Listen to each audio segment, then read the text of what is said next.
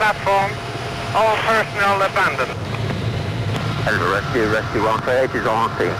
Rescue 138, this is Edinburgh Rescue. Roger, on scene, out. Bloody hell, it's very on fire, isn't it? Yeah, they've got I'm sweating already.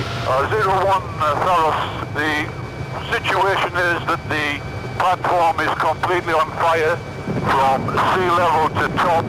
Uh, we have in fact pulled back somewhat. Uh, the structure is uh, collapsing and it is uh, total fire. Uh, If you've enjoyed watching this video, please like and subscribe and feel free to leave any comments below on what future topics you would like me to cover.